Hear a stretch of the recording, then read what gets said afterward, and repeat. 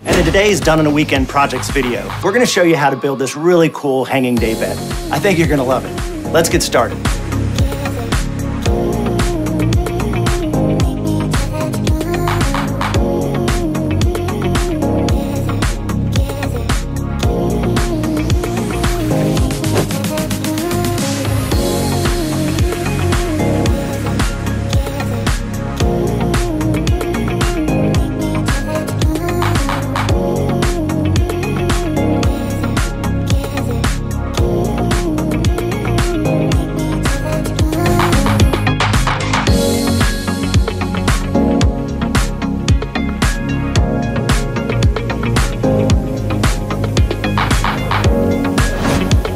To see more done in a weekend projects like this, be sure to check us out at exmark.com slash backyard.